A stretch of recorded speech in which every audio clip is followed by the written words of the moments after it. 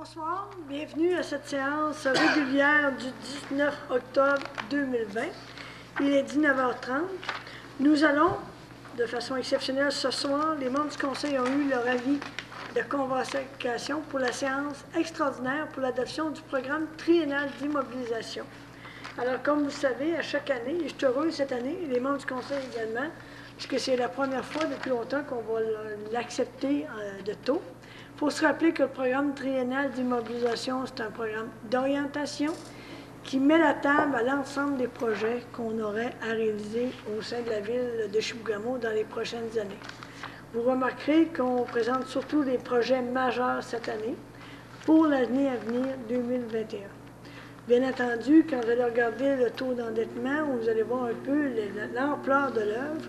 Il y a d'autres discussions qui devront suivre avec les membres du Conseil en fonction de l'évolution du dossier, de la recherche de subventions et autres. Donc, je donnerai la parole à ce moment-ci à M. Gagnon pour nous faire une présentation succincte du programme triennal d'immobilisation qui sera euh, sur notre site Internet à partir de mercredi matin, normalement. M. Gagnon, la parole est à vous. Euh, merci, Mme Cyr. Euh, je vais vous présenter les plus grands projets par catégorie. Donc, je commencerai avec la catégorie administration générale. J'excuse, M. Gagnon, je, suis en hors d'ordre. J'aurais besoin d'un proposant, un appuyeur pour l'adoption de la séance extraordinaire. Je propose. M. Bolduc, M. Girard, tout le monde est d'accord? Alors, M. Gagnon, je m'excuse, la parole est à vous. On, on, on rembobine. On vous Parfait. Donc, dans la catégorie administration générale, euh, pour les années, je vais surtout vous présenter l'année 2021, mais ça pourrait arri- arriver qu'à quelques occasions, je vous présente 2022 et 2023, euh, le cas échéant. Donc, je commence avec le projet d'archivage des finances et des incendies. C'est un projet d'une valeur de 150 000. Il faut procéder à l'archivage de ces deux services, euh, trésorerie et sécurité incendie. C'est un projet qui date de 2012. Tous les autres départements ont été archivés, mais il reste que ces deux-là. Donc, on, va mettre la main à la pâte en 2021. On a aussi un projet de relié à la fibre optique, c'est remplacer tous les commutateurs dans, les, dans nos bâtiments. C'est un projet de 60 000 ainsi que le commutateur principal qui est situé à l'hôtel de ville. On a un projet, euh, le projet ADM 0221, qui est un projet d'achat de logiciels avec notre fournisseur PG Solutions. Euh, on a le module euh, de transfert taxation qui va permettre de simplifier euh, le paiement du compte de taxes pour les citoyens. Il y a les virements bancaires aussi. En faisant ça, on veut réduire les coûts associés au traitement des chèques. Donc, il y a différents modules avec notre fournisseur PG Solutions qui sont inscrits au PTI euh, 2021 et deux- jusqu'à 2023. On a aussi le projet ADM 0321, qui est le projet du budget participatif. On ne retrouve pas de montant l'année 2021. Ça va être une année de, de planification, préparation avec toute l'équipe euh, des loisirs et des communications. Et en 2022 et 2023, on a inscrit un montant de 125 000 à chaque année pour les projets citoyens qui seront retenus par, euh, par le projet.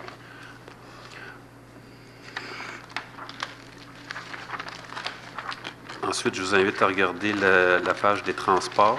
Euh, on a différents projets. On a le projet, on a gardé euh, inscrit le projet 0717 qui est le- les travaux de pavage.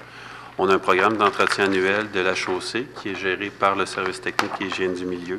Donc, pour les trois prochaines années, euh, il y a un montant de 252 000 qui est inscrit à chaque année. Et on a aussi un montant inscrit au budget qui- qui fait que, bon an, mal an, on a à peu près euh, 500 000 pour la réfection de la chaussée. On a aussi le projet TRA 1318, euh, qui est un projet de la mise aux normes de l'entrée électrique du garage munici- municipal excusez, et l'ajout d'une génératrice. La génératrice devient une obligation par la loi puisque c'est notre centre de coordination des mesures d'urgence, puis doit être relié à une génératrice en tout temps. Donc, c'est un montant de 720 000 qui est estimé par le département. On a aussi le projet TRA 0520, qui est la construction de deux garages municipaux pour remplacer nos, vieilles infrastructures, comme on appelle le radar dans la zone du Golfe, et le petit entrepôt euh, qu'on retrouve à la Fourche de Chapin. C'est un projet sur deux années. Vous avez un projet de construction en 2021 pour 2 500 000 et en 2022 de 1 250 000 C'est qu'il va avoir aussi des installations dans le nouveau secteur industriel du boulevard Amel. Maintenant, je vous invite à regarder la page hygiène du milieu. On a le projet euh, HYG 0615 qu'on poursuit l'installation des compteurs d'eau. Euh, cette année, on faisait la, révision de, chaque euh, place où un compteur d'eau allait être installé. L'année prochaine, on va en appel d'offres pour installer et acheter l'équipement. on a toujours, on a gardé encore 350 000 dans ce projet-là. On doit se conformer en 2021 selon la loi du, gouvernement du Québec. On a aussi le projet HYG 0417 qui est la réfection et optimisation des stations d'épuration des eaux usées. Euh, c'est des installations, des infrastructures qui datent de 1985, qui, on est obligé de les mettre aux normes, puis les équipements sont désuets. Donc, vous avez la conception et la demande de certificat d'autorisation environnementale pour l'année 2021 et la réfection-construction en 2022, estimée par l'équipe à 2 millions de dollars. Euh, maintenant, je vous invite à regarder le projet HYG 0118. On parle du secteur transition de la troisième rue. C'est euh, entre la 5e avenue, la bibliothèque et le chemin Méril. La construction est prévue pour l'année prochaine, l'année 2021. C'est un projet évalué à 9 900 000 Il y a des coûts pour la surveillance de 435 000 et on a intégré à, ce projet, comme on intègre à tous les autres projets, un plan de communication. On espère, on est en discussion avec l'MTQ pour l'entente euh, de subvention et la TEC sera euh, utilisée à, hauteur de 2,7 millions pour ce projet-là l'année prochaine. On a aussi la plateforme de compostage qui est le projet HYG 0218. On doit se conformer d'ici 2025, mais l'équipe se prépare. Donc, on propose euh, de réaliser les plans et devis en 2022 et euh, la construction et l'achat de bacs roulants pour l'année 2023. Je vous invite à regarder le projet HYG 0318 qui s'intitule Entretien préventif de l'UTE. Euh, c'est qu'on a une refonte, en, grand affaire à l'UTE compte tenu du système de traitement des eaux euh, qui ne répond pas aux, besoins. Donc, on a un projet de construction en 2023 au coût de 7 millions de dollars qui devrait normalement être à côté avec une subvention du gouvernement du Québec. On parlait ici du primo à 50 C'est toujours sous réserve. Et le projet HYG, HYG 0620 qui est la construction d'un réservoir d'emmagasinement d'eau potable au coût de 9 millions de dollars, toujours en l'année 2023. On comprendra ici pour les citoyens qu'on le met à l'agenda pour que les gens voient et soient conscients des travaux qu'il y aura à faire. L'estimation à date d'aujourd'hui. L'équipe est toujours en train de l'idée puis d'informer un peu le conseil par rapport aux différentes options. Ça ne se réalisera probablement pas en 2023, mais on le planifie là pour que les gens le voient, pour qu'on puisse commencer à en parler. Euh, on sait qu'on a un avis de bouillir encore qui est préventif, qui est depuis vendredi dernier. On sait qu'il y a des problématiques de certains éléments qu'on ne peut pas réussir à résoudre. Alors, l'équipe fait le travail. On sait qu'on vous le met en 2023, mais c'est un projet de longue haleine, mais par transparence euh, aux citoyens, on a voulu le mettre dans notre programme traînant pour moins commencer à lever le flag, comme on peut dire en bon français. Je m'excuse, M. Gagnon, vous avez interrompu. Je vous donne la parole. Oui, merci, Mme Cyr. Maintenant, je vous invite à la page Loisirs et culture. On a le projet 0312, qui est le projet de terrain synthétique football soccer, qui va se réaliser en arrière de la polyvalente. Euh, on attend toujours l'obtention de la subvention. On a fait la demande l'année passée.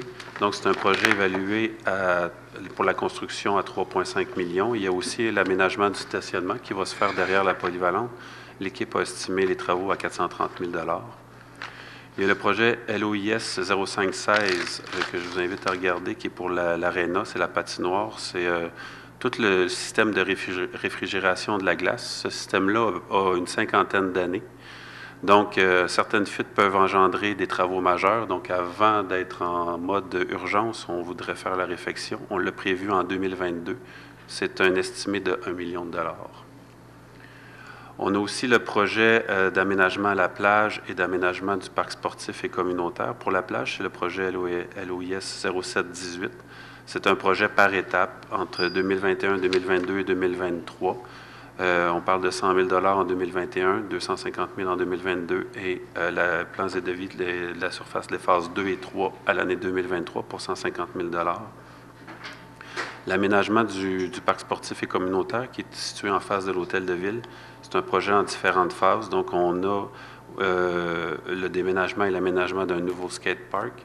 On parle d'une pomme track qui est en la phase 1 et à l'étape 1 pour un montant de 725 000 On a le déplacement et le réaménagement du jardin communautaire. On a estimé à 393 000 et aussi l'agrandissement du terrain de soccer pour les, plus jeunes joueurs.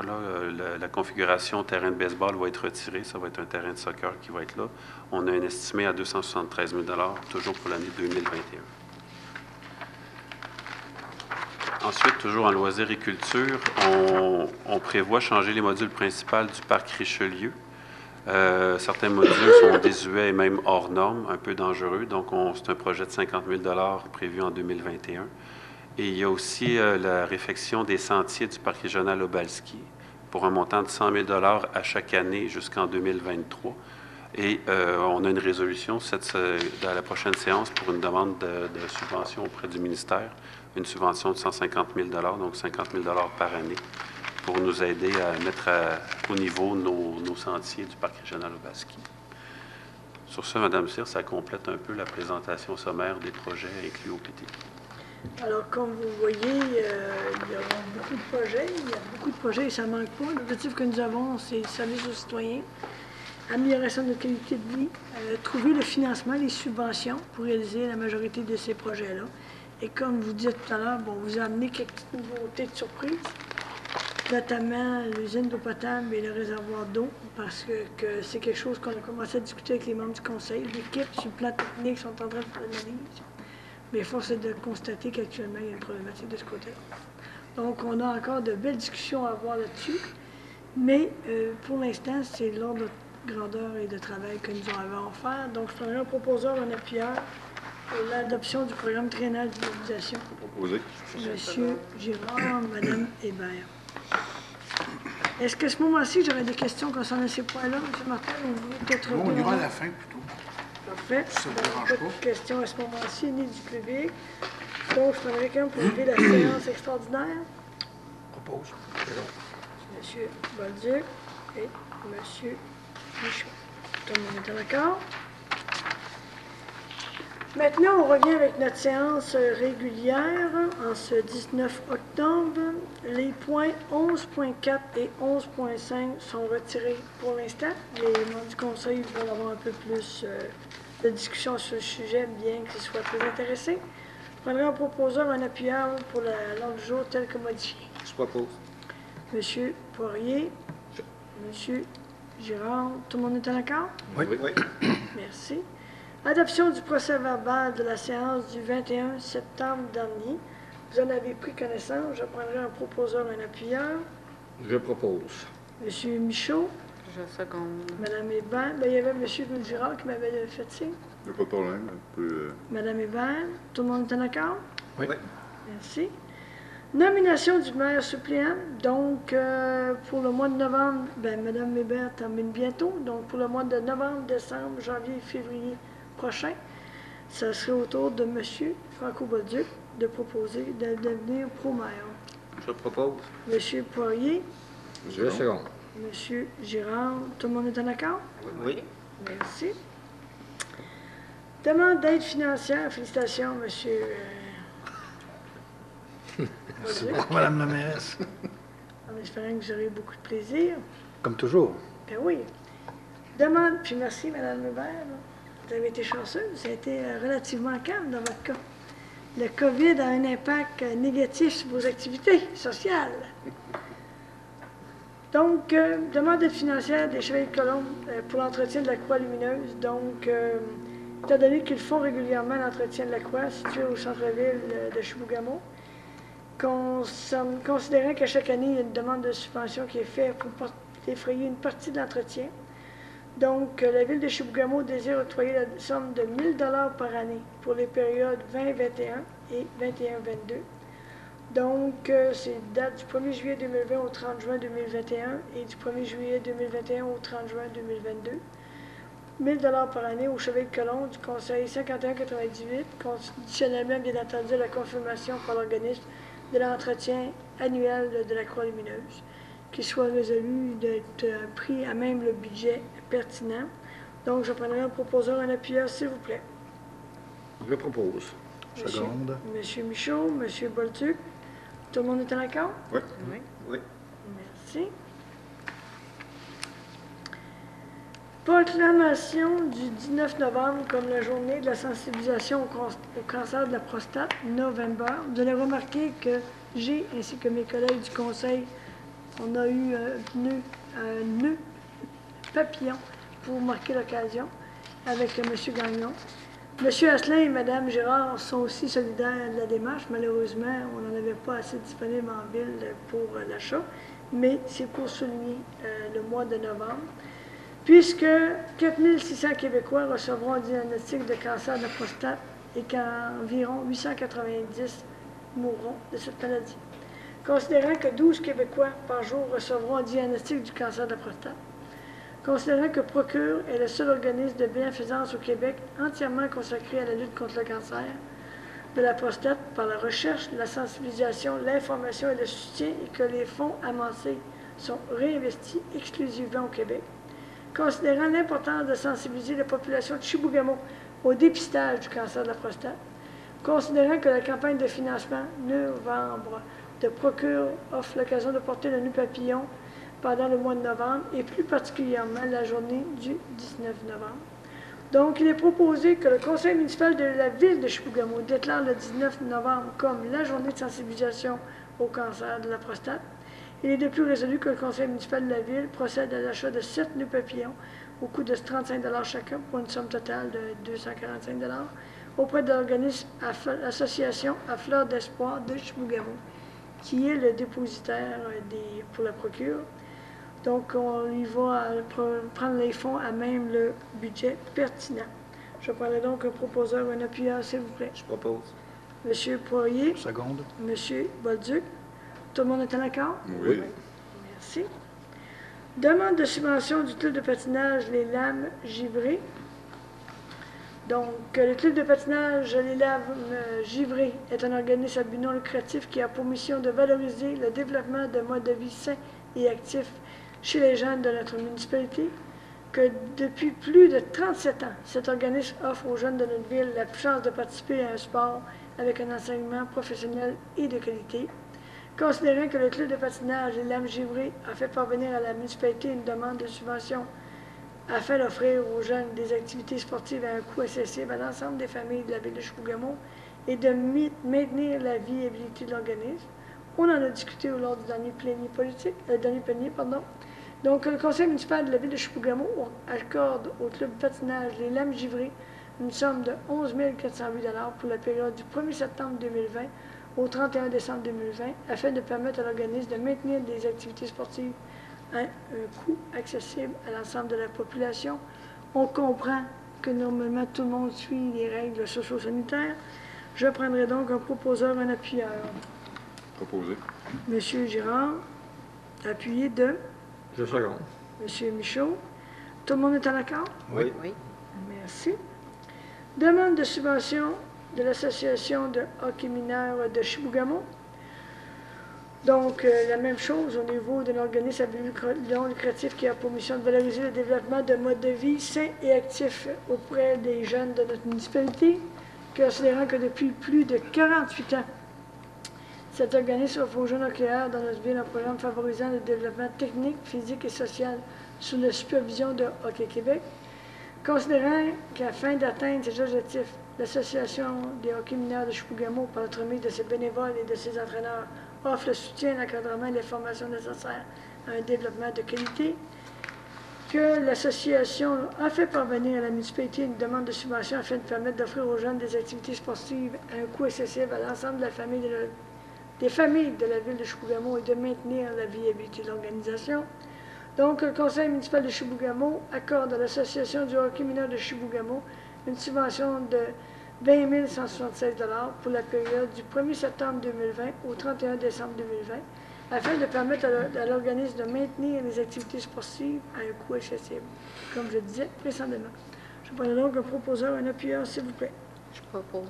Madame Hébert, appuyé de Je seconde. Monsieur Michaud. Tout le monde est en accord? Oui. Merci. Maintenant, je passerai la parole à M. Gagnon. Aide financière complémentaire à la Chambre de commerce de Chibougamau-Chappé lors de la tournée de la ruée vers le nord 2020. Monsieur Gagnon. Merci, Madame Cyr. Donc, euh, considérant que la ville de Chibougamau avait participé à la ruée vers le nord en tant que partenaire platine, c'était la résolution 256-2019-07. La, la tournée a eu lieu, c'était l'année passée, du 21 au 25 octobre 2019.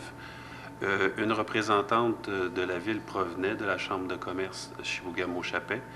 Il avait été convenu avec la Chambre de commerce que la ville de Chibougamau assumait les frais reliés à cette tournée pour la représentante de la Chambre de commerce.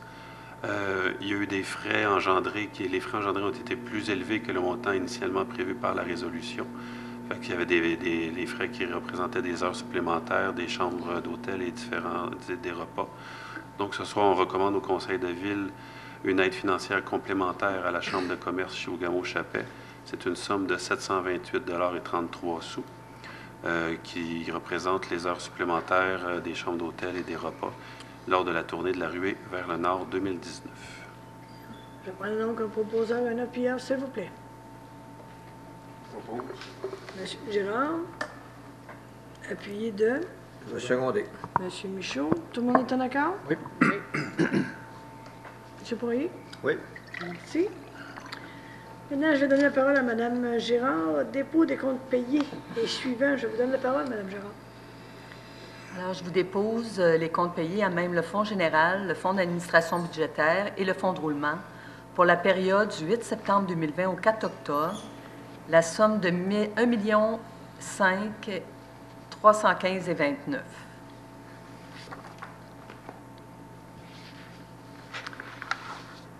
Vous dépose le rapport du compte salaire pour la paye euh, numéro 37 à 40, la somme de 315 175 et 25 pour les syndiqués et non syndiqués, pompiers, pompières, cadres et membres du conseil.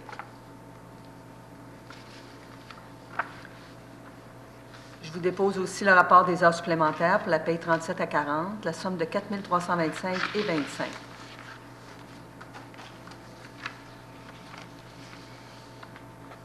Alors, on vous dépose aussi le rapport de la délégation de pouvoir pour la période du 8 septembre au 4 octobre 2020.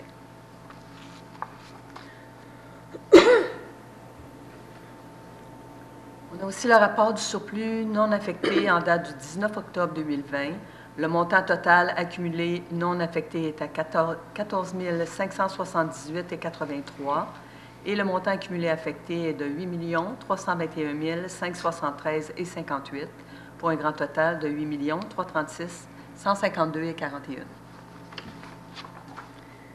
Merci. Modification budgétaire du mois? Alors, je dépose la modification budgétaire euh, d'octobre 2020 en date du 19 octobre. Les montants suivants par le fonds de roulement 42 719,41 et par le fonds d'administration budgétaire 122 078 et 13. Prends donc un proposeur, un appuyeur, s'il vous plaît. Ah, Je propose.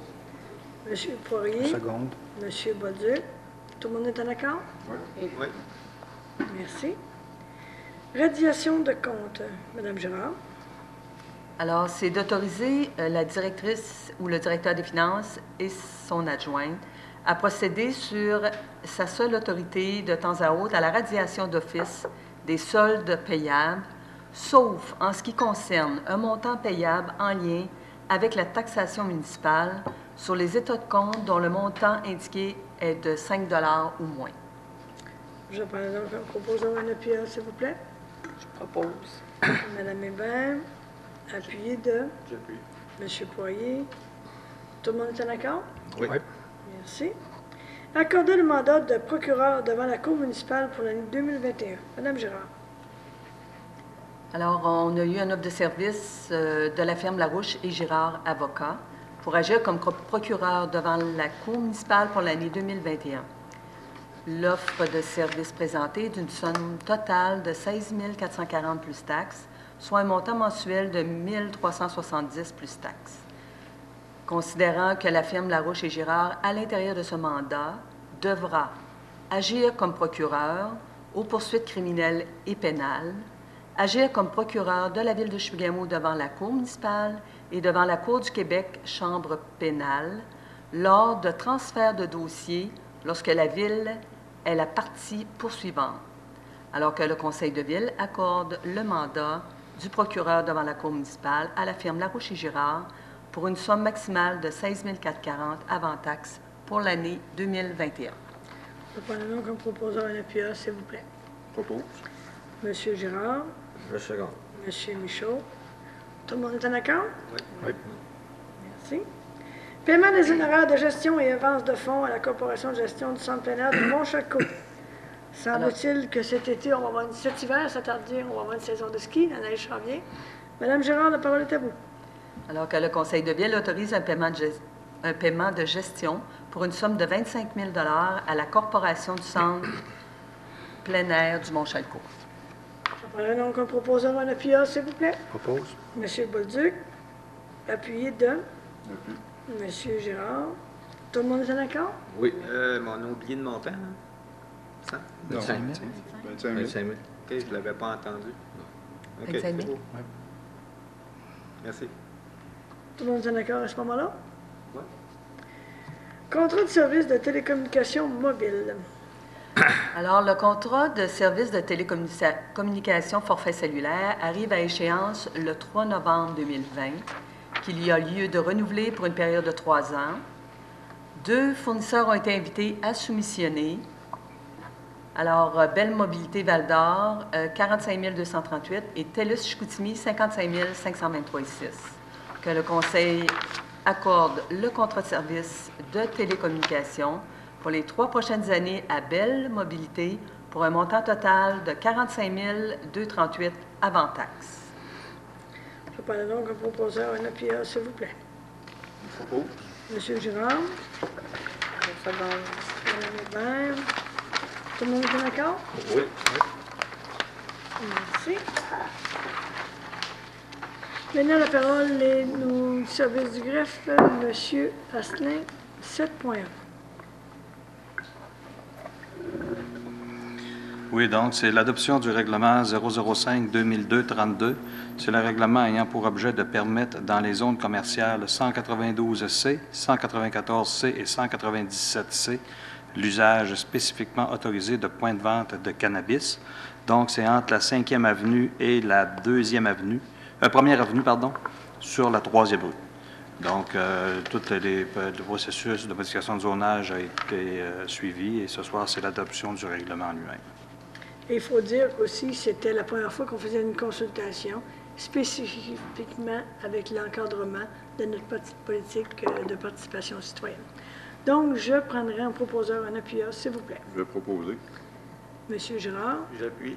Monsieur Poirier, tout le monde est en accord? Oui. Merci.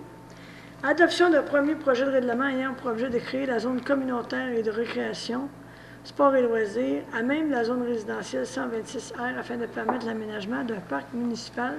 Ça, c'est au coin de la troisième rue et l'avenue Chemin. Méride. Monsieur Asselin. Donc, comme vous l'avez mentionné, c'est de créer une zone euh, publique, euh, parc public, centre récréatif, aréna et installation sportive pour un parc municipal. Donc, que- qu'il soit euh, proposé et résolu qu'il soit adopté un projet de règ- règlement de modification de zonage sous le numéro euh, 005-2002-33 et que la population soit, consultée en conformité des dispositions de la loi sur l'aménagement et l'urbanisme euh, le 16 novembre prochain à 20h, ici même à l'Hôtel de Ville. Un appuyant. J'avais une question. Oui, monsieur. Quand on va sur euh, la carte et qu'on regarde euh, la zone 126 euh, 1P, est-ce que euh, là, on, on voit qu'il y a six, euh, six terrains? Est-ce que c'est les deux premiers terrains Oui. Oui, qui sont euh, sur la, qui donnent sur la troisième euh, rue et la rue du, du Mât? exact. OK. C'est beau. Merci. Les autres terrains demeurent, euh, conservent leur vocation résidentielle. D'accord. Et, et- et des maisons dessus. Exactement. OK, c'est beau. Merci. Donc, euh, je prendrai un proposeur un appuyeur pour l'adoption. Je propose. Monsieur Poirier. Appuyé de Le second. Monsieur Michaud. Tout le monde est d'accord? Oui. Oui. Merci. Dépôt et présentation du règlement 002-2020, règlement ayant pour objet la gestion des matières résiduelles. Donc, on avait fait l'avis de motion lors de la dernière séance du Conseil. Ce soir, c'est la présentation. Je vais vous faire ça de façon très rapide, dû au fait que le règlement a été revu pratiquement en entier. Vous avez d'ailleurs euh, les feuilles de modification, les faits saillants, pardon, euh, à l'intérieur de vos documents. Donc, euh, j'attire votre attention sur les articles suivants. L'article 11, on nous parle de l'officier responsable qui pourra permettre certaines autorisations euh, pour l'utilisation de, de types de conteneurs A ou B dont vous avez en annexe. Donc, ce sera sur recommandation, sur autorisation, pardon, euh, explicite de l'officier responsable au service technique. Même chose euh, concernant euh, la localisation des, euh, conteneurs, parfois certains conteneurs ne pourront pas être installés aux endroits dont on le désire, mais le, le responsable du service technique en aura la possibilité. Ensuite, euh, on nous parle OK, à l'article 16, on l'a modifié parce qu'on veut, euh, on a précisé un article pour éviter, euh, on veut préciser, pardon, que dans le tri de matière, de façon à éviter que certaines matières se retrouvent dans un bac non approprié. Autrement dit, dans le recyclage, on ne veut que du recyclage. Même chose pour les ordures ménagères, pour euh, valoriser la- la collecte. Ensuite, euh, le- L'article 18 qui est modifié parce que l'ancien règlement demandait de mettre les matières résiduelles dans un sac, alors que c'est complètement l'inverse, on sait bien. Euh, donc, euh, on est venu préciser cet article-là. L'article 25, c'est un nouvel article que vous, avez dans le règlement. C'est le nombre de, de collectes qui se fera par semaine en fonction de l'usage et de la localisation des types d'usage et de commerce. À titre d'information, par exemple, au niveau résidentiel, ça ne change pas, là, autant la saison estivale qu'hivernale. Ensuite, euh, je pourrais vous amener euh, à l'article 28 où on a précisé la notion de chemin carrossable et à l'article 29 où on a précisé les matières qui sont interdites à la section écocentre au lieu d'enfouissement technique. L'article 47 euh, et 48 ont été modifiés de façon à ce que les, amendes soient plus euh, représentatives euh, en fonction de la gravité de l'infraction et non pas avoir une seule amende pour tout type d'infraction confondue dans le règlement. Voilà. Je vous ai fait le résumé. Le règlement, le projet de règlement, pardon, parce qu'il va être adopté seulement lors de la prochaine séance, le projet de règlement va être disponible sur le site Internet mercredi. Et quand on regarde au tableau synthèse, l'article 25, c'est là qu'on a la cueillette. Oui. hein? Puis euh, la, cueillette- des ordures, c'est une fois par semaine, de la mi-mai à mi-septembre, une fois aux deux semaines, de la mi-septembre à mi-mai. Collecte sélective, pardon, une fois aux deux semaines. Euh, industrie, commerce et euh, indu- institutionnel. institutionnel, donc c'est deux fois par semaine. Sur la troisième rue, entre la première avenue et la cinquième avenue. Pour tous les autres secteurs autres que la- sur la troisième rue, entre la première avenue et la cinquième avenue, c'est une fois par semaine. Même chose pour la collecte sélective. Établissement à usage mixte, donc il y a eu, il n'y a pas de modification de ce côté-là. La, la seule modification majeure est au niveau des, des commerces sur la troisième rue. Ouais. Euh, on a diminué le nombre de collectes, mais c'est pas, euh, pas aléatoire, c'est pas. euh, il y a eu des vérifications qui ont été faites au préalable. Donc, on a rafraîchi un peu notre règlement et Oui. on va en appel d'offres prochainement avec ce nouveau règlement. Effectivement. Questions, commentaires ou je prendrai un proposant en appuyant pour. euh, Proposé. non. C'est la présentation. C'est un- un dépôt de présentation. L'avis de motion avait été donné. L'avis de motion a été donné, donc ce sera la prochaine séance. Je m'excuse, M. Gérard. Oui. Donc, dépôt et présentation, ce qui est fait. Donc, 7.4, avis de motion, afin que soit déposé et présenté lors d'une prochaine séance un règlement ayant pour objet de permettre l'usage spécifiquement autorisé d'une tour de télécommunication à l'intérieur de la zone de villégiature 27V en sus des usages autorisés. Ça, c'est dans le secteur de la baie Machin Les portages. et portage. Exactement. Monsieur Donc- Asselin? Donc, vous avez l'avis de motion ce soir. Euh, Comme euh, vous l'avez mentionné, c'est une tour de télécommunication euh, qui va être située. euh, Vous allez avoir dans le projet de règlement, lors de la prochaine séance, vous allez avoir la localisation euh, de même que la, la partie technique là, de, de la, la tour de communication elle-même. Alors, on comprend que c'est une tour assez importante, mais on Oui. comprend que les citoyens du secteur ont euh, signé une lettre disant qu'ils étaient en accord. D'accord. Donc, je prendrais quelqu'un pour me donner l'avis de motion. Proposé. Monsieur Girard. Merci. 7.5, Monsieur Asselin. Donc, considérant qu'il y a lieu de régulariser avec le ministère de l'Énergie et des Ressources euh, la, pro- la propriété du terrain sur lequel est situé le bâtiment de la plage municipale, considérant que les opérations cadastrales actuellement en cours par euh, l'arpenteur géomètre, considérant que le ministère requiert que le formulaire euh, formulaire de demande d'utilisation du territoire public soit complété. Donc, il soit autorisé de m'autoriser à signer, moi ou M. Marc Gauthier, greffier adjoint, euh, le formulaire de demande d'utilisation du territoire public concernant le bâtiment à la plage municipale. Et, excuse- un montant de 115 avant taxe également soit prévu pour cette Ce demande.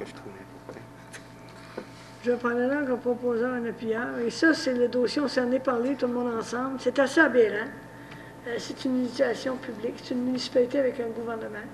Je ne comprends pas pourquoi qu'en 2020, on n'est pas capable d'avoir une session des terres publiques à cet effet-là. Mais pour l'instant, on va suivre euh, ce qu'ils nous sont demandés. Mais on peut se permettre de faire un petit commentaire éditorial. La même chose pour les deux points suivants sur la rue du Frein et la même chose dans le secteur de la rue du Buc et du Ruisseau.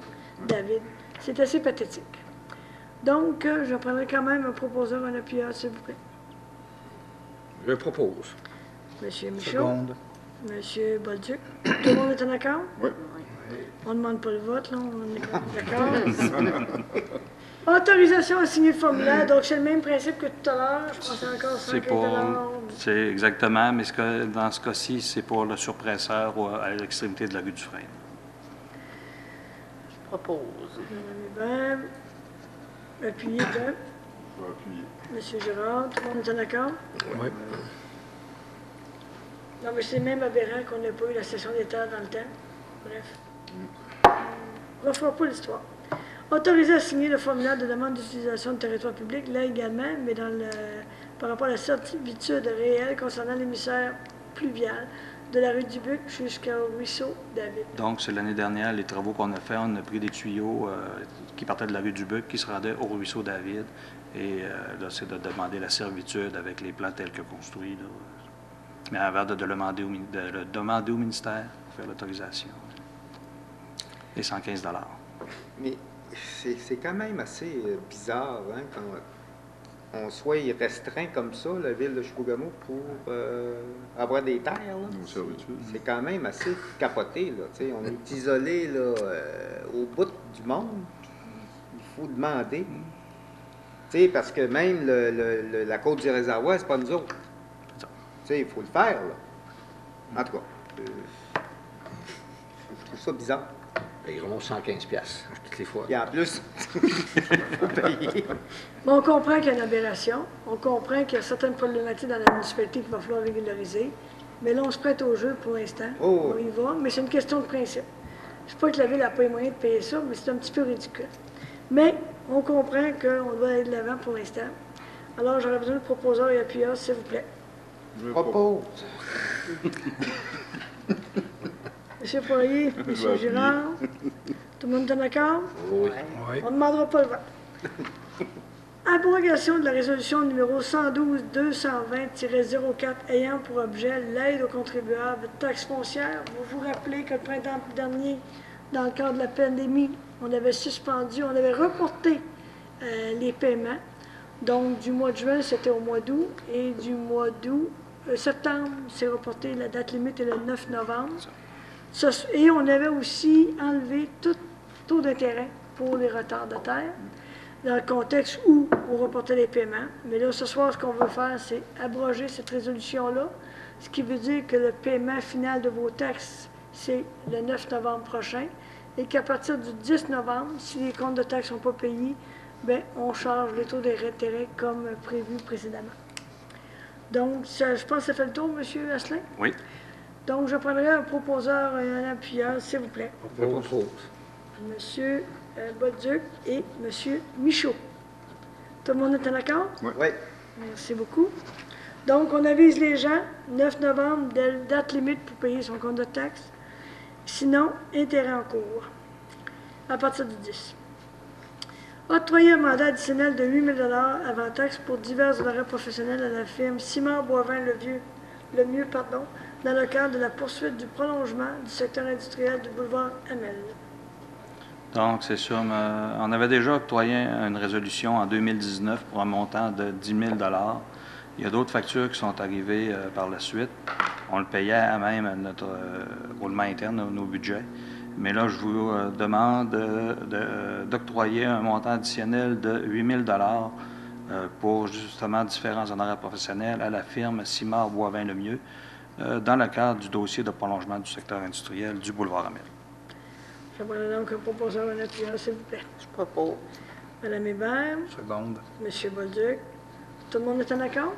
Oui. Merci. Autoriser la signature de l'acte de vente à intervenir pour l'acquisition de la station de pompage située sur le terrain de l'école secondaire La Porte du Nord. Monsieur Asselin. Donc, la résolution 128-2020-04 autorisait la station, euh, autorisait la station, autorisait l'achat, pardon, de la station de pompage d'eau usée euh, pour la somme symbolique de 1 auprès du centre de service scolaire de la baie James. Donc, euh, considérant que l'acte de vente cont- contenant les clauses usuelles sera reçu devant Maître Marise Larouche, notaire, donc, sur la recommanda- ma recommandation, Mario Asselin, greffier, que le conseil municipal de la ville de, Ch- de Chibougamau autorise Mme Cyr ou Mme Hébert, moi-même ou M. Gauthier, à signer l'acte de vente à intervenir entre la ville et le centre de service. Et là, on prend le bâtiment et le terrain également. Bâtiment terrain, oui. Je prends donc un proposeur, un appuyant, s'il vous plaît. Je propose. Monsieur Michaud, J'appuie. Ça Monsieur- coûte moins cher qu'avec le ministère. Monsieur J'y ai pensé. Tout le monde est en accord? 114 dollars de Mais ça, vous avez raison, M. Poirier. Vous avez fait le commentaire, ça coûte moins cher qu'avec le ministère. Puis en plus, ça va être, on va être chez nous, ça va nous appartenir. Ouais, C'est un, on appelle ça un échange de bons procédés. effectivement. Mais il va falloir faire une petite relance auprès du gouvernement du Québec. Accorder le mandat général de procureur de la ville de Chibougamau pour l'année 2021. Donc, euh, considérant que le mandat de la firme Larouche et Gérard Avocat se termine le 31 décembre 2020, qu'il y a lieu de renouveler ce mandat pour l'année 2021, considérant que l'offre de service pour l'année 2021 comprend euh, des consultations, euh, des consultations, des part- participe à des rencontres, donne des avis écrits et verbaux, donne des consultations verbales et écrites sur demande au conseil municipal, agit comme procureur dans les relations de travail lorsque requis, euh, à la demande du service d'urbanisme ou de la direction générale, expédie des mises en, demeure ou lettres euh, et leur apporte aide et conseils, et que ce mandat ne comprend pas les réclamations judiciaires à la Cour du Québec, à la Cour supérieure ou devant toute autre instance judiciaire. Le conseil municipal aura le loisir de faire appel à, à l'avocat de son choix auquel il pourra donner un mandat spécifique.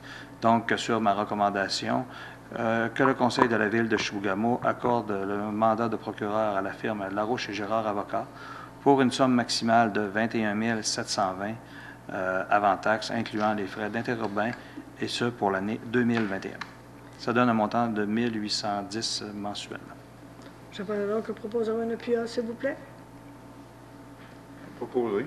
Monsieur Girard, Seconde. Monsieur Poirier, tout le monde est en accord? Résolution visant la libération du fonds de garantie en assurance bien du regroupement agglomération 1, I, c'est-à-dire du groupe A, pour la période 30 avril 2017 au 30 avril 2018.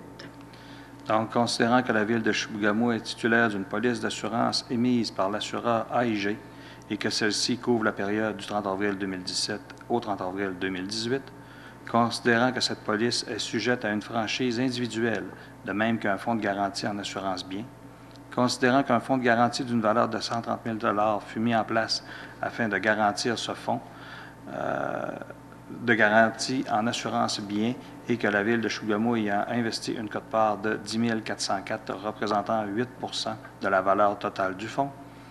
Donc, euh, considérant que l'ensemble des réclamations déclarées à l'assureur touchant la dite police de fonds de garantie assurance bien ont été traitées et fermées par l'assureur, Considérant que la Ville de Chibougamau confirme qu'il ne subsiste aucune réclamation couverte par la police d'assurance émise par l'assureur AIG pour cette période, considérant que la Ville de Chibougamau demande le reliquat de 130 000 du dit fonds de garantie, donc, euh, considérant que l'assureur AIG pourra enquêter ou intervenir selon ce qu'il estimera à propos, donc il soit proposé résolu d'autoriser euh, l'Union des municipalités du Québec à procéder au versement du reliquat du dit fonds de garantie aux membres du regroupement Agglomération 1 Groupe A dans les mêmes proportions que ceux-ci y ont contribué lors de, la- lors de sa constitution.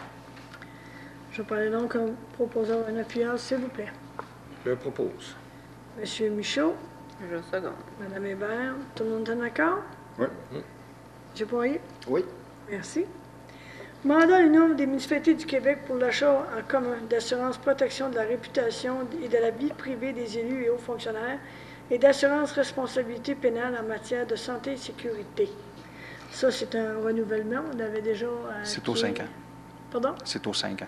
C'est aux cinq ans. C'est aux cinq ans. Donc, euh, dans l'article, considérant que, conformément aux articles 29.9.1 de la loi sur les cités et villes, on, auto- on autorise euh, l'Union des municipalités du Québec, l'UMQ, son regroupement pour l'achat en commun d'assurance protection euh, de la réputation et de la vie privée des élus et hauts fonctionnaires, et c'est pour la période du 31 décembre 2020 au 31 décembre 2025.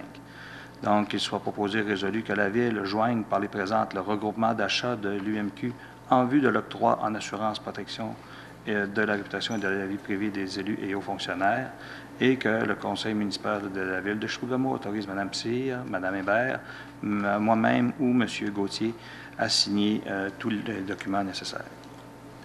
Je prends donc un proposeur, un appuyeur, s'il vous plaît. Proposé. Monsieur Gérard, Monsieur Bolduc. Tout le monde est d'accord? Oui. Merci. Loisirs, culture et vie communautaire. Euh, Je passe la parole à Monsieur Gagnon, assistance financière pour organisme. Merci, Madame Cyr. Donc, euh, compte tenu que la Ville a une politique d'assistance aux organismes, il y a quelques organismes accrédités à la Ville qui nous ont fait parvenir leurs demandes.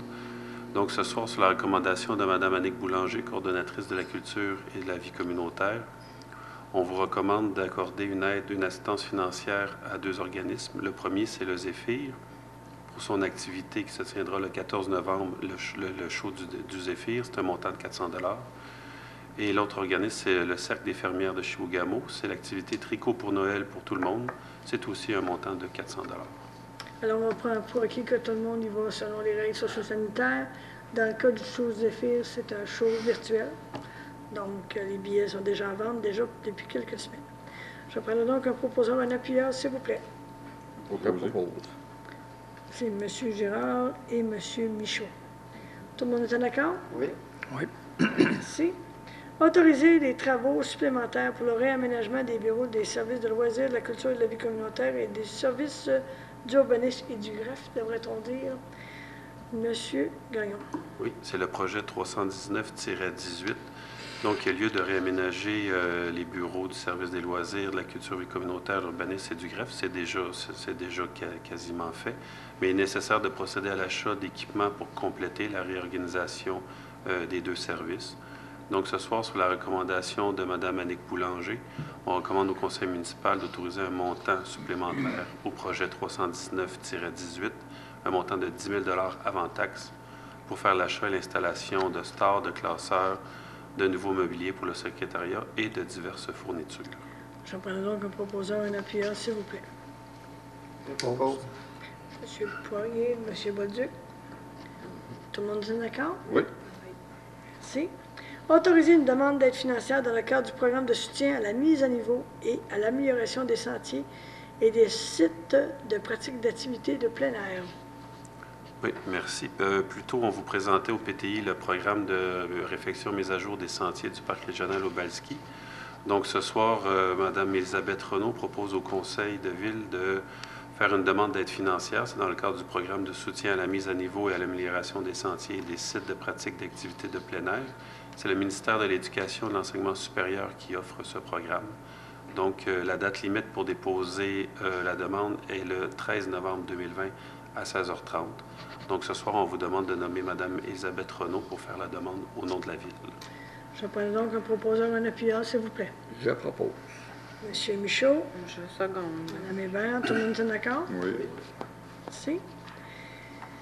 Ressources humaines, M. Gagnon. Nomination de notre directeur des finances et de la trésorerie. Merci, Madame Cyr. Donc, j'ai une bonne nouvelle ce soir pour le Conseil de ville. Donc, euh, on a procédé à l'ouverture du poste de directeur des finances et trésorier à la suite du départ de l'employé 10-0131. On a procédé à un premier affichage de l'offre d'emploi euh, dans divers médias électroniques et sur toujours notre site Facebook. À ce moment-là, l'offre se terminait le 14 août 2020 à midi. Euh, aucune candidature n'a été retenue pour ce premier affi- affichage-là. Donc, on a procédé à un deuxième affichage qui se terminait le 9 septembre 2020 à 16h30. On a aussi donné un mandat d'accompagnement dans le processus de recrutement à la firme, euh, à l'équipe Le Bleu, Division Management et Ressources humaines. Suite au deuxième affichage, deux candidats ont été retenus et reçus en entrevue. C'était le 30 septembre dernier par le comité de sélection. Le comité était formé euh, de moi-même, Jean-Sébastien Gagnon, directeur général et directeur des ressources humaines, Madame Manon Cyr, mairesse, ainsi que Madame Véronique Pépin, consultante pour la firme Équipe Le Bleu. On avait aussi euh, les services de Madame Marie-Claude Villeneuve, qui est conseillère en santé sécurité au travail et en ressources humaines à la ville de Chibougamau. Donc, ce soir, sur la recommandation du comité de sélection, on propose au conseil municipal de la ville de Chibougamau de nommer M. Jonathan Dilgat à titre de directeur des finances et trésorier. Il s'agit d'un emploi cadre à temps plein à rais- à raison de 32 heures et demie par semaine. Le salaire prévu est à l'échelon 5 de la grille salariale des dirigeants, des dirigeants actuellement en vigueur, et ce, à partir du 2 novembre 2020. Il est de plus résolu que le contrat d'emploi soit d'une durée de 5 ans et que l'employé soit soumis à une période de probation de 12 mois, et ce, à partir de sa date d'embauche, du 2 novembre 2020. De plus résolu d'autoriser Mme Cyr, mairesse, Mme Hébert, mairesse suppléante, M. Asselin, greffier ou M. Gauthier, greffier adjoint, à signer le contrat d'emploi avec le titulaire de ce poste. Je prends donc un proposeur, un appuyeur. Propose. M. Bolduc, Je second. M. Michaud, tout le monde est en accord? Oui. Oui. Merci beaucoup. Et bienvenue, M. Dilgat. Dilgat? Dilgat. Dilgat, oui. Il ne faudrait pas que je commencerais de le baptiser avant qu'il rentre. Hein? Je pense serait pas très heureux. Alors, bienvenue, monsieur. Merci.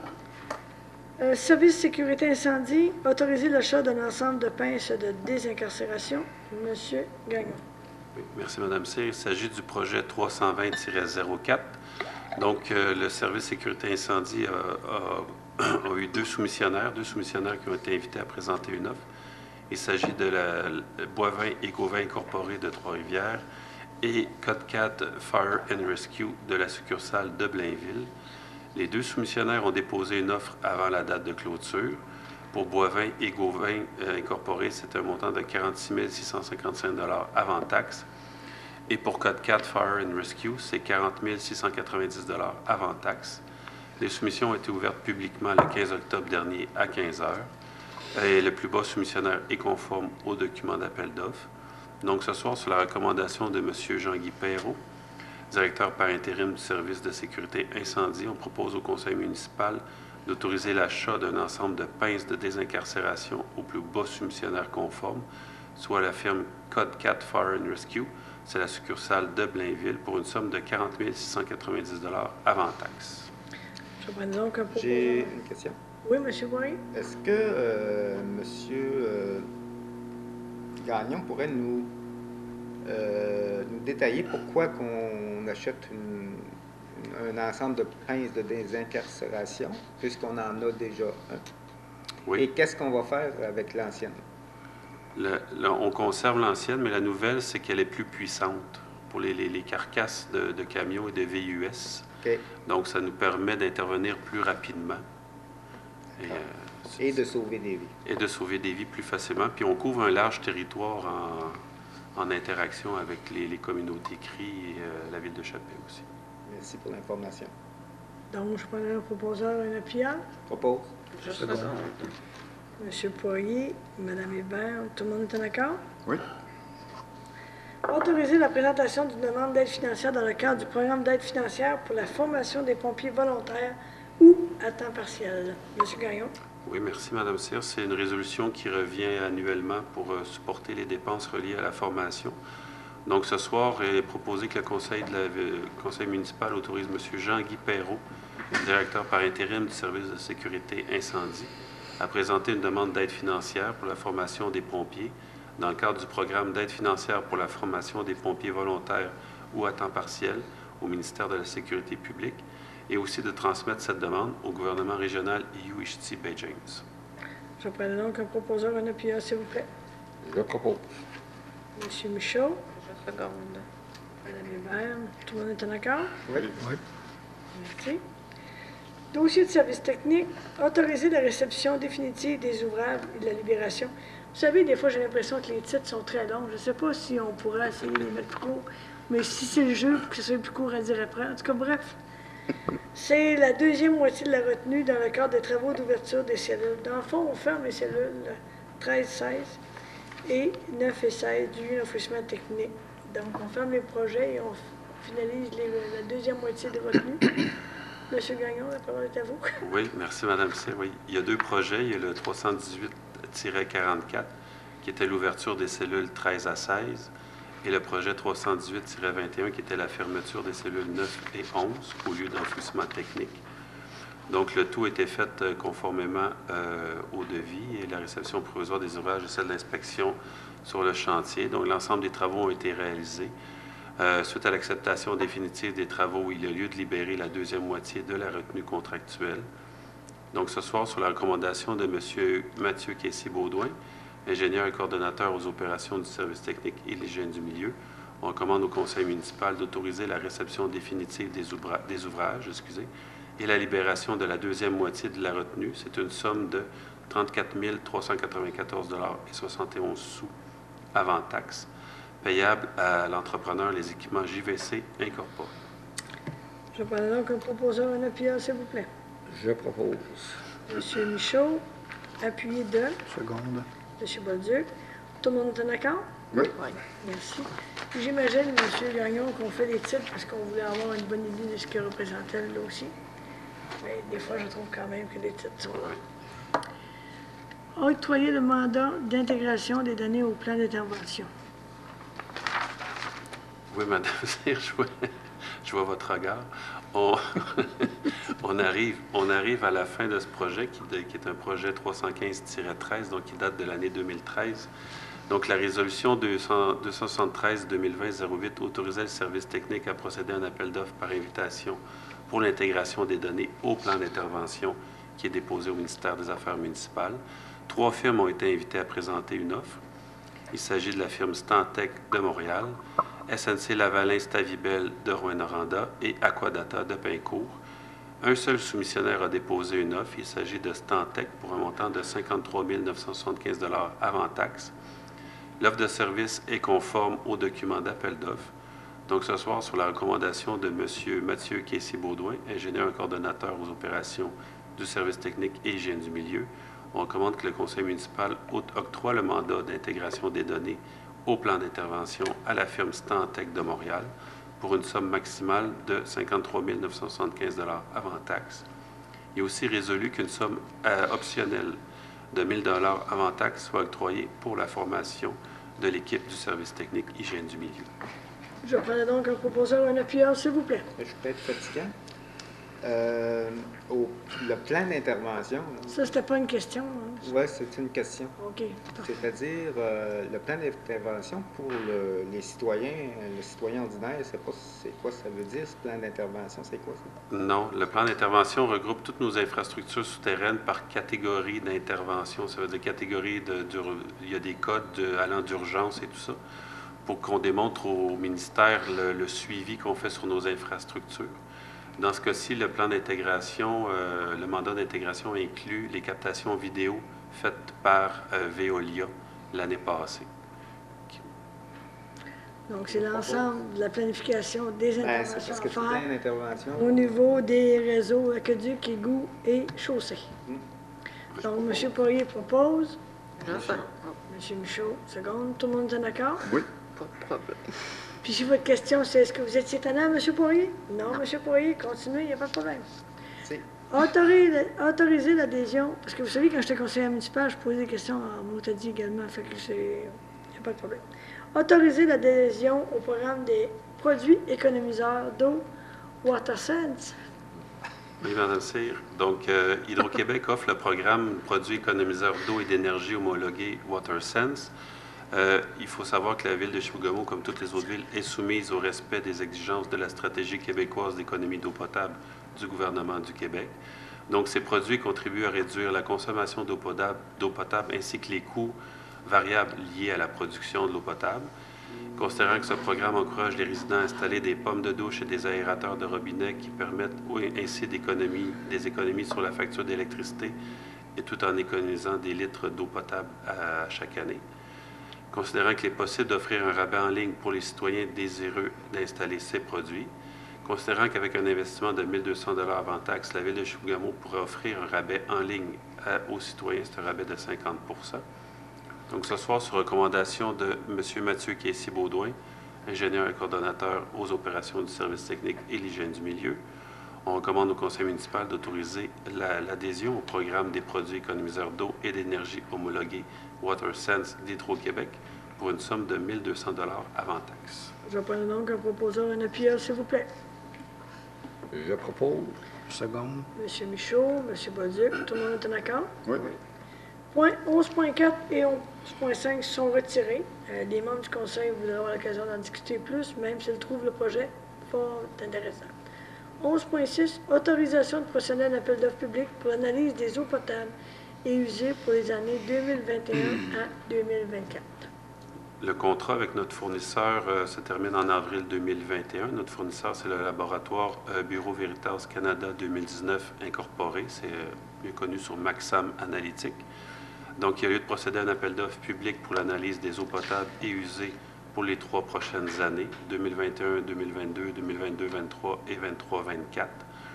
Donc, ce soir, sur la recommandation de Mathieu Caissier-Baudouin, ingénieur coordonnateur aux opérations du service technique et de l'hygiène du milieu, on propose au conseil municipal d'autoriser le service technique à procéder à un appel d'offres public pour l'analyse des eaux potables et usées pour les années 2021, 22, 22, 23 et 23, 24. Je prends donc un proposeur, un appuyeur, s'il vous plaît. Je propose. Madame Hébert, Seconde. Monsieur Bolduc, tout le monde est en accord? Oui. Oui. Octroyer le contrat de transport de Lexivia du lieu d'enfouissement technique dit le LET. Monsieur Gagnon. Merci, Madame Cyr. Donc, la résolution 315-2020-09 autorisait le service technique à procéder à un appel d'offres par invitation pour le transport du Lixivia du lieu d'enfouissement technique vers les stations de traitement des eaux usées.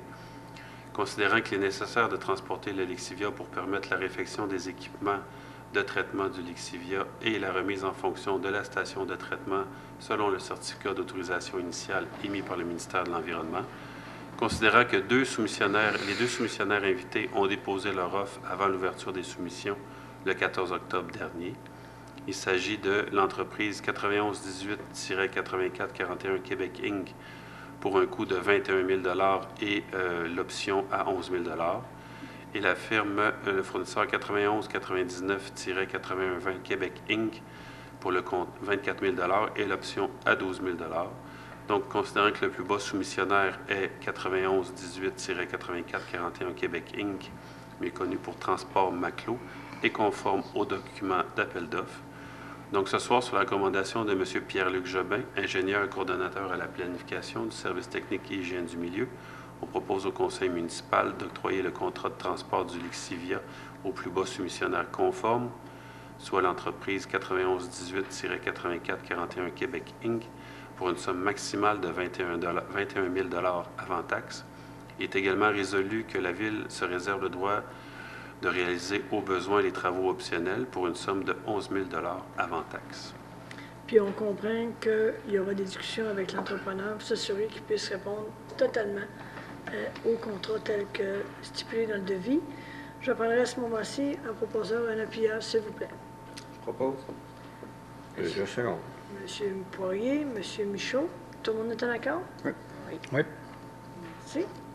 Octroyer le mandat pour la préparation d'un rapport technique pour la réfection des équipements de traitement du Lixivia au lieu d'enfouissement technique.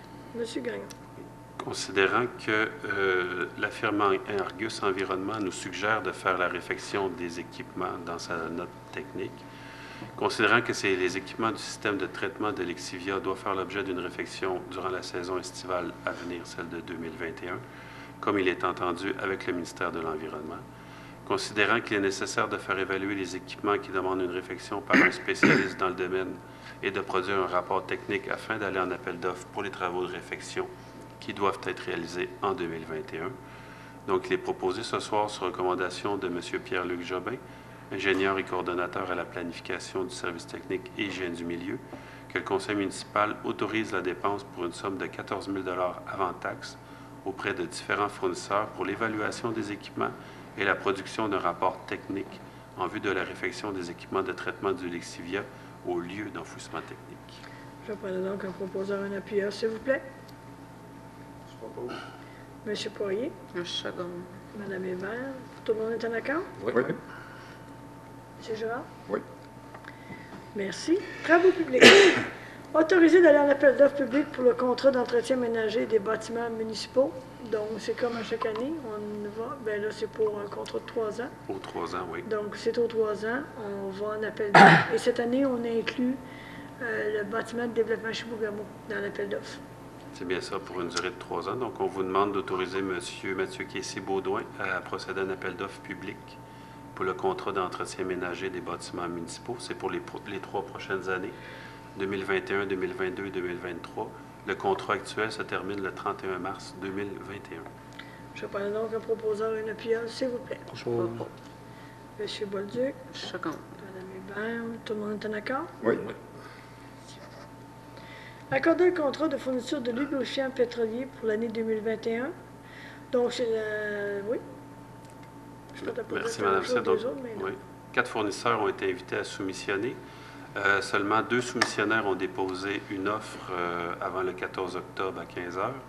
Il s'agit de MAS Chibougamau Incorporé pour le montant de 12 458,65 sous. C'est avant taxe. Et le deuxième fournisseur, c'est Nutrinor Énergie, euh, place d'affaires à Saint-Bruno, pour un montant de 14 309,19 sous. Donc, euh, considérant que le total indiqué sur la soumission de Nutrinor Énergie comporte une erreur de calcul et que ce total aurait dû être de 14 318 considérant la soumission du plus bas soumissionnaire est conforme, soit MAS Chibougamau Incorporé. Donc, ce soir, sur la recommandation de M. Réal Bonneau, co- coordonnateur aux travaux publics, on recommande au conseil municipal d'accorder le contrat de fourniture de lubrifiants pétro- pétroliers pour l'année 2021 à MAS Chibougamau Incorporé pour un montant estimé à 12 458,65 sous avant taxe. Je prends donc un proposeur, un appuyeur, s'il vous plaît. Propose. Madame Seconde. Madame Hébert, Monsieur Bolduc, tout le monde est en accord? Oui. Merci. Accorder le contrat de fourniture de carburant ordinaire pour l'année 2021. Il y, a deux fournisseurs qui ont été invités à soumissionner. Les deux ont déposé une offre. Il s'agit de Pétrole MJ Incorporé, sa place d'affaires à Chibougamau. Euh, le montant soumissionné est de, euh, là c'est en sous, est de plus 0,0549 sous. Et Nutrinor Énergie de Saint-Bruno, le montant soumissionné est de plus 0,0365 sous. Considérant que le plus bas soumissionnaire conforme est Nutrinor Énergie de Saint-Bruno, Considérant que la quantité de carburant ordinaire inscrite sur la demande de soumission tient compte de la consommation annuelle qui est estimée à 40 000 litres au garage municipal, considérant que cette variation affectera le coût unitaire du produit inscrit euh, sur chaque euh, facture, c'est l'indice euh, selon l'augmentation, la diminution du prix des raffineurs et grossistes qui vendent à la rampe de chargement à Montréal. J'aurais dû vous le lire avant, je m'excuse. Donc, on recommande ce soir que le conseil municipal accorde le contrat de fourniture de carburant ordinaire pour l'année l'année 2021 à l'entreprise Nutrinor Énergie de Saint-Bruno pour un montant équivalent au prix de l'indice quotidien du coût des acquisitions de la Régie de l'énergie du Québec, région nord du Québec, euh, Jamésie, secteur Chibougamau au Lebel-sur-Quivillon, additionné de 0,0365 sous par litre pour un montant estimé à 34 128 avant taxe. Je prends donc un proposeur, un appuyeur, s'il vous plaît. Monsieur Girard, Secondé. Monsieur Michaud, tout le monde est en accord? Oui. Oui. Merci. Accorder le contrat de fourniture de mazout pour l'année 2021. Monsieur Gagnon.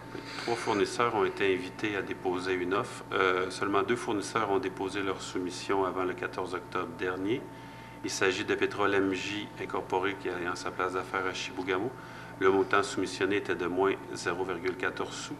Et Nutrinor Énergie avec la place d'affaires de Saint-Bruno, le montant était de moins 0,1365 sous. Considérant que la quantité, euh, le, plus bas soumissionnaire conforme est Pétrole MJ euh, Incorporé de Chibougamau, Considérant la quantité de mazout inscrite sur la demande de soumission, on tient compte de la consommation annuelle estimée des endroits suivants.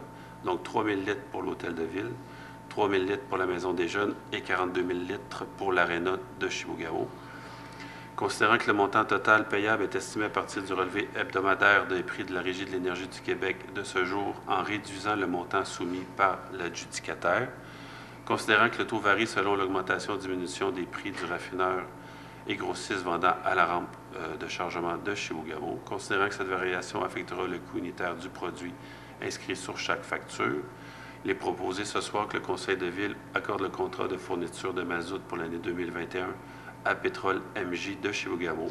C'est pour un montant équivalent au relevé hebdomadaire des prix de la Régie de l'énergie du Québec, Région Nord du Québec, Jamésie, euh, réduit de 14 sous par litre pour un montant estimé à 33 240 avant taxe. Je prenais donc un proposeur et on parlait de la variation en fonction du chargement à Montréal. Je propose. Monsieur Girard, Monsieur Michaud, tout le monde est en accord? Excusez, c'est M. Michaud, vous avez dit qu'il Oui. Merci. Et tout le monde est en accord? Ouais. Demande de dérogation mineure au 155-159 5e Avenue, Monsieur Asselin. Donc, la présente euh, demande concerne la marge avant du bâtiment principal donnant sur la rue Obalski, qui serait de 5,5 mètres au lieu de 10 mètres, tel que demandé dans le règlement de zonage. Considérant qu'il y a des contraintes, euh, géotechniques, il y a la présence de roc sur euh, le terrain, considérant que la présente dérogation permettra de réduire le dynamitage et de conserver le couvert végétal, considérant qu'un stationnement pour les automobiles ainsi qu'une voie d'accès pour les autobus seront aménagés entre le bâtiment projeté et le terrain résidentiel voisin, considérant que le bâtiment résidentiel voisin a une marge de vente de 7,2 mètres, considérant que la dérogation est jugée mineure par les membres du comité consultatif d'urbanisme qui se sont réunis le 22 septembre dernier, donc, euh, que sur recommandation du comité consultatif d'urbanisme, que le conseil mu- municipal de, de la ville de Chibougamau accorde la présente demande de dérogation mineure pour l'immeuble situé au 155-159 5e Avenue, c'est l'école McLean, euh, ici même à Chibougamau, de façon à permettre la marge avant du bâtiment principal donnant sur la rue Obalski à 5,5 mètres au lieu de 10 mètres. Je prends donc un proposeur, un appuyeur, s'il vous plaît. Propose. Madame Hébert, Monsieur Bolduc, je pense. Tout le monde est en accord? Oui. Merci. Dérog- Demande de dérogation mineure au 152 chemin Méril. Donc, la présente demande concerne la marge arrière de la remise attenante qui est de 0,23 mètres au lieu de 0,60 mètres, considérant que la dérogation est jugée majeure par les membres du CCU qui se sont réunis le 22 septembre euh, pour traiter de ce dossier, donc sur recommandation du comité consultatif d'urbanisme, que le conseil municipal de la ville de Chibougamau n'accorde pas la présente demande de dérogation mineure pour l'immeuble situé au 152 chemin Méride. Je prends donc un proposeur, un appuyeur pour passer à l'innocence de la refus et de la modification. Je le propose.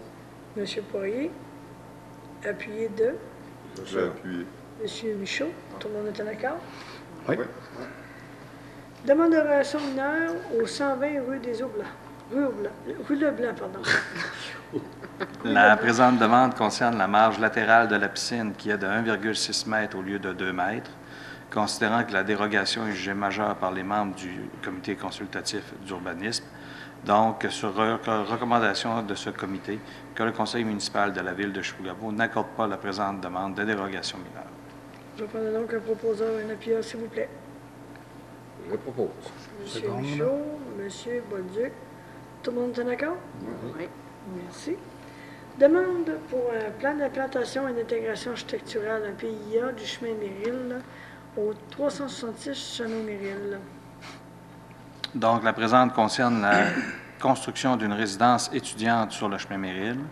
Considérant que le Conseil de la Ville de Chougamau a adopté un plan d'implantation et d'intégration architecturale pour ce secteur, considérant que l'immeuble concerné est situé à l'intérieur du dit secteur vis- visé par le règlement, considérant que les plans déposés au service d'urbanisme respectent l'article 3.3.4 du plan d'implantation et d'intégration architecturale concernant le traitement euh, architectural des bâtiments, considérant que les membres du comité que selon les membres du comité consultatif d'urbanisme, ce projet respecte les objectifs généraux et autres critères du plan d'implantation et d'intégration architecturale.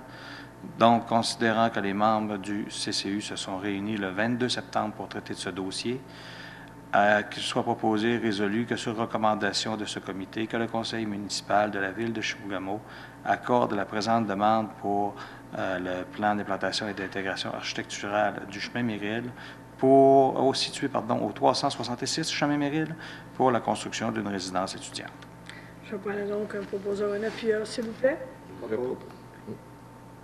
Pardon, c'était? Je propose. Second. Poirier, M. Michaud. Tout le monde est en accord? Oui. Demande pour un projet particulier de construction, de modification ou d'occupation d'un immeuble, PPC moi, M. Asselin, Oui, au donc- 475 3e rue. Donc, on- la présente demande, comme vous- l'avez dit, concerne, euh, dans le cadre d'un PPC MOI, l'aménagement d'une mi- microbrasserie qui serait située au 4 475 3e rue, ici même euh, à Chibougamau, considérant que le conseil municipal de la ville a adopté en 2017 le règlement euh, 014-2017 concernant le PPC MOI pour l'ensemble de son territoire, Considérant que cet usage n'est autorisé que dans les zones industrielles, considérant que l'immeuble est situé dans la zone commerciale 194C et que cet usage n'y est pas autorisé, considérant que le programme permet d'autoriser un, usage sur un lot particulier au lieu de modifier le zonage pour une zone complète, considérant que le projet tel que décrit dans la demande du propriétaire est à petite échelle pour consommation locale et non usage de commerce de grossiste, considérant que l'usage ne dépassera pas plus de 10% de la superficie du rez-de-chaussée, considérant que le propriétaire de l'immeuble a présenté un projet aux membres du comité consultatif d'urbanisme qui s'est réuni le 30 septembre pour traiter de ce dossier, donc sur recommandation du comité consultatif d'urbanisme, que le conseil municipal de la ville accorde la présente demande de projet particulier de construction, de modification ou d'occupation d'un immeuble, le PPC MOI, de façon à permettre l'aménagement d'une microbrasserie au 475 3e rue, conformément à la demande déposée au service d'urbanisme et aux membres du comité consultatif d'urbanisme. Je prends donc un proposeur, un appuyeur, s'il vous plaît. Oh, euh, J'appuie. Madame Hébert, M. Poirier, je pense que tout le monde est d'accord. Oui. Merci beaucoup. Donc, c'est ce qui fait le tour de notre séance de ce soir. À ce moment-ci, il n'y a pas de public dans la salle. Est-ce que j'aurais des questions de M. Martel? Euh, on va peut-être je vais peut-être revenir quelques instants sur le, sur le PTI. Qu'est-ce qui a permis qu'on le présente aussitôt cette année? Efficacité de l'équipe, monsieur. Madame Girard qui a mis du surtemps, ainsi que ses collègues de travail. Monsieur Gagnon qui a dit à sa gang, euh, vous avez déjà une bonne idée de ce qui s'en vient comme projet. Ça fait déjà quelques mois dans certains cas et plusieurs mois dans d'autres que vous travaillez sur les projets. Donc, au lieu d'attendre qu'on fasse ça au mois de novembre, bien, on fait ça tout de suite au mois de septembre. Parce qu'il faut comprendre que c'est une orientation qu'on donne. Puis aussi, on voyait qu'il y avait des projets quand même majeurs euh, qui demandaient peut-être une attention particulière des membres du conseil. Puis il faut comprendre aussi, comme on disait plus tôt, il faudra regarder au niveau du financement de plusieurs de ces projets-là. Donc, c'est des projets de longue haleine dans certains cas, d'autres qui devraient voir le jour euh, l'été prochain. Donc, euh, on poursuit le travail de ce côté-là. Mais je suis vraiment très heureuse parce que, disons, on, dit souvent à notre équipe de gestionnaires, planifiez vos projets, puis donnez-nous l'information la plus juste et la plus complète possible. Ben là, je peux dire euh, mission accomplie et je vais remercier l'équipe. Euh, ben, J'imagine que vous allez avoir beaucoup de travail dans le budget pour, euh, pour essayer de contenir le, le- taux d'endettement de la ville, j'imagine. Tout à fait. Mais ça, il faut comprendre qu'on l'a toujours fait, mais on va continuer à le faire, d'aller chercher des subventions. Vous avez vu quand même que les, les montants sont importants. Pour ma part, j'ai certaines déceptions. hein. Quand on parle de nous refaire quasiment une usine d'eau potable, j'ai un petit peu de problème avec ça. Le réservoir d'eau- c'était probable. C'était possible aussi, c'était demandant. Il y a des choses qui expliquent ça, mais euh, on va avoir des discussions aussi avec les membres du conseil puis l'équipe pour la suite des choses. Euh, il y a plein d'autres choses, je vais prendre le temps de, l'analyser, mais juste savoir pourquoi vous avez décidé à partir du, euh, du 1er novembre de remettre les intérêts pour ceux qui auraient encore des problèmes. La pandémie n'est pas terminée. Il y a encore des gens qui ont de la difficulté. Ça n'aurait pas été facile de laisser encore un petit peu de, petit peu de corde aux citoyens? Bien, ce qu'on constate, il y a beaucoup d'activités économiques qui sont revenues. Il y a beaucoup de gens qui travaillent actuellement. Donc, on a demandé peut-être, on avait donné un sur, sursoir euh, de quelques mois.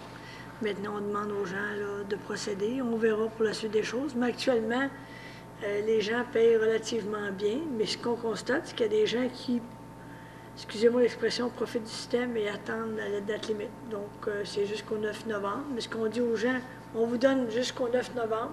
Mais à partir du 10 novembre, les intérêts vont commencer à courir. Donc, on verra, on verra pour la suite des choses. Mais pour l'instant, ce qu'on constate, c'est que la majorité des gens ont repris le travail. Parfait, merci. C'est bon pour ça? Monsieur Girard, la Oui. parole est à vous en cette fin de séance. Merci. Euh, on l'a vu ce matin, la neige commence à tomber. Fait que, euh, je demande aux gens d'être prévoyants, de commencer à penser à, changer les pneus d'hiver. Puis ensuite, on a euh, la ville va, faire des activités pour l'Halloween prochainement. Fait que je demande aux jeunes et aux parents de participer grandement aux, activités qui nous sont proposées. Tout ça dans le bon ordre avec la distanciation, puis avec Santé, Santé Canada, Santé Québec. Oui, tout. Merci. Monsieur Oui, pour continuer, euh, donc ce que Claude vient de nous dire, euh, moi je tiens à féliciter toute l'équipe qui a participé à la création des activités pour l'Halloween. J'ai eu beaucoup de commentaires très positifs. Les citoyens, pour beaucoup, sont très heureux. Donc, félicitations à l'équipe pour toute les- les- la création des activités. Euh, en second point, j'aimerais euh, dire la bienvenue à M. Dilgat, que je connais euh, professionnellement, puisque que j'ai eu la chance de le côtoyer au centre de santé. Donc, euh, je lui souhaite la bienvenue. Je pense que pour la ville, c'est une très bonne acquisition. C'est un gestionnaire de haut niveau. Et puis, en troisième point, je me suis pris des petites notes ici parce qu'il y a une activité qui aura lieu le 31 octobre, encore là, dans la foulée des activités de l'Halloween. Donc, c'est une activité qui est une levée de fonds pour Opération Enfant Soleil. On c'est intitulé euh, Rallye Selfie. Donc, ça se déroule au euh, 147 rue de Bigoud entre 16h et 19h, donc euh, toujours en respectant les, les règles euh, bon, de la santé. Euh, donc, c'est un 5 qui est demandé par participant, puisque c'est une levée de fonds, donc je disais pour Opération Enfant Soleil. Et puis sur, sur place, on vous donnera un genre de, de liste ou de, je pourrais dire de, plusieurs places euh, qu'on peut prendre des selfies. Donc, on envoie les photos via euh, Messenger ou par la page Facebook d'Opération Enfant Soleil Chibougamau. Et puis, il y aura des prix de participation, il y aura des bonbons aussi sur place pour euh, les enfants. Et les mesures vont être prises, là, toujours pour respecter la santé publique et tout ça. Donc, je répète, le 147 rue Bigoud, de 16h à 19h, le 31 octobre, dans le cadre de l'Halloween avec le levée de fonds Opération Enfant Soleil. C'est tout. Merci beaucoup. Madame Hébert? Je vais continuer dans le même sens, euh, de consulter la programmation euh, des activités pour la fête de l'Halloween sur le site de la ville. Tous les détails sont là. Donc, euh, aussi, je voudrais féliciter l'initiative de Santé en Or, euh, Chibougamau-Chapet, pour les sept sommets qui sont terminés. Je crois qu'on a jusqu'au 31 octobre pour terminer de faire cette petite escapade-là. Très intéressante, c'était fort agréable. Donc, je souhaite un bon mois d'o- d'octobre et bon Halloween à tous. Merci. Monsieur Michaud? Euh, un petit rappel, on change, on recule l'heure le 31 octobre, du 31 octobre. Euh, les services de pompiers recommandent de faire vérifier vos, vos avertisseurs de fumée et euh, ainsi de remplacer les, les piles. Euh, nous avons reçu euh, des premiers flocons de neige. N'oubliez pas de faire installer vos pneus, comme Claude, c'est ça, et adapter votre conduite à ce changement de saison. Félicitations euh, au département des services des loisirs, de la culture et de la vie communautaire pour avoir monté une très belle pro- programmation pour l'Halloween 2020 pour nos jeunesses. La COVID-19 est toujours autour. Respectons les consignes de la santé publique pour la santé de tout le monde. C'est ça. Merci. Merci, M. Michaud.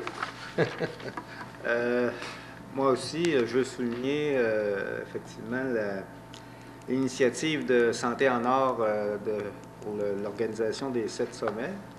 Je me vois encore escalader le mont Bellingham avec ma chienne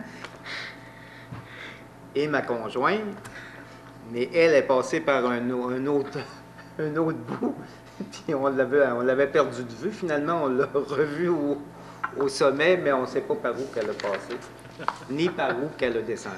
En tout cas, c'est, euh, quand même... Montant d'hélicoptère. Ouais, c'est- Les c'est chemins ça. mènent à Rome, hein?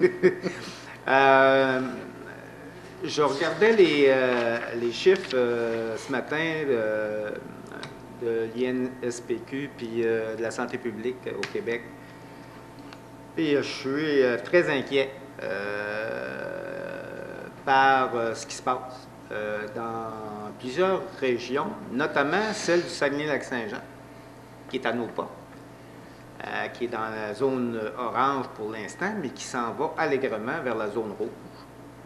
On ne parle pas encore de- d'établir de, cordon euh, sanitaire, mais euh, j'incite nos citoyens et citoyennes à, à conserver leurs bonnes habitudes qu'ils ont eues durant la première vague, et donc de respecter les consignes de la- santé publique. Euh, et si vous avez à voyager euh, à l'extérieur, ben, faites attention. Euh, notamment au Saint-Saint-Jean, qui est quand même pas loin. À Alma, ça se passe là, euh, de façon assez incroyable. Alors, euh, attention. C'est euh, effectivement encore, euh, c'est inquiétant. Je trouve ça inquiétant. Je ne veux pas faire peur au monde, mais je pense qu'il faut euh, quand même le dire. Euh, il faut nommer les choses. Euh, troisième élément, probablement que la prochaine, effectivement, séance de conseil, on va avoir de la neige. Fait que, effectivement, continuons d'être prudents. hein, C'est l'hiver qui s'en vient. donc, adapter sa conduite, comme disait mon collègue M. Michaud. Et comme Claude, là, j'ai pris rendez-vous, moi, euh, c'est la semaine prochaine que je change mes pneus d'hiver. Et voilà. Bon citoyen. Ben, bon mois. Alors, merci beaucoup. Euh, le défi des sommets, effectivement, j'en ai manqué quelques-uns, mais c'était une initiative fort intéressante. Je voudrais aussi vous parler, vous entretenir peut-être plus au niveau de la COVID-19. Effectivement, je pense que c'est préoccupant. Actuellement, euh, je dois dire que notre réseau de la santé au niveau de la Jamésie va très bien. Euh, le traçage, le retraçage des gens, la discipline aussi des citoyens de Chibougamau et de la région. Euh, au retour de voyage, les gens qui ont des septèmes. En tout cas, je sens qu'il y a vraiment une force qu'on a ici en région d'avoir respecté jusqu'à maintenant les règles socio-sanitaires. Et je vous en conjugue de continuer à le faire. M. Poirier a raison. Le Saguenay-Lac-Saint-Jean, c'est préoccupant. Mais tout ce qui se passe à la grandeur du Québec, c'est préoccupant. Et j'aime dire aux gens que la place à être actuellement, c'est dans notre région. Mais pour ce faire, on doit maintenir notre vigilance, on doit maintenir la restriction dans nos contacts sociaux. Oui, on est en jaune, mais pour l'instant, c'est parce que ça va bien. On n'a pas de transmission communautaire. On a vu certains gens arriver qui avaient été en contact avec des gens de COVID. On vous invite à mettre l'application COVID sur votre cellulaire, suivre les règles socio-sanitaires et surtout, ne pas se fier à des rumeurs, mais aller sur des faits. Donc, euh, au CR3S de la baie vous avez un site Internet qui vous donne l'information. Je sais qu'au niveau des médias, ici à Chibougamau, les gens font l'information également. Mais, c'est rare qu'on va dire ça, mais notre avenir et notre santé est entre nos mains. Alors, il faut se les laver. Il faut continuer à porter le masque et suivre les règles socio-sanitaires. J'ai dû aller à l'extérieur. C'était un voyage essentiel parce que moi, ma mère devait retourner chez elle, mais elle a décidé de rester à Chibougamau. On est allé chercher des bottes, des manteaux d'hiver, puis régler quelques affaires qu'elle avait à faire à la Montmagny. Mais on a été très strict dans notre déplacement et on va faire un test COVID comme prévu et comme demandé par notre centre de santé mercredi en fin de journée. Mais actuellement, notre santé va bien, donc partez pas, partons pas de rumeurs. Mais c'est vraiment crucial et important de limiter au maximum notre, euh, nos contacts sociaux. Et euh, écoutez, l'Halloween, je suis heureuse qu'on fasse ce qu'on a pu. Vous voyez les efforts qu'ils ont fait par notre équipe au niveau des loisirs, de la vie communautaire, pour justement donner une panoplie de services ou d'activités pour nos citoyens, pour nous rendre la vie plus agréable. Puis je dois vous avouer que la collecte des bonbons cette année, j'étais sûre, j'aurais aimé avec quelqu'un là-dessus qu'elle n'aurait pas lieu. Mais contre toute attente, le gouvernement nous a dit non, on vous le permet. Mais encore là, on a des règles sanitaires à respecter et c'est vraiment très important. Alors, je vous souhaite un bon mois. Moi, je ne parlerai pas de la neige tout de suite, je sais que ça s'en vient. Je suis heureuse parce que semble-t-il qu'on va avoir une saison de ski. Mais tout ça va être tributaire des efforts qu'on continue à faire. Je sais que c'est tannant, je sais que c'est plate. On est des êtres sociaux, mais malheureusement, on doit restreindre nos contacts sociaux et s'assurer de respecter les règles socio-sanitaires. Là, je pense que ça fait trois fois que je le dis, et ça a déjà été dit par mes collègues également. Alors, je vous remercie. Je prendrai quelqu'un pour euh, lever la séance et je vous souhaite un bon mois. Propose. Monsieur Bolduc, Monsieur Poirier, merci beaucoup à tout le monde et bonne fin de mois.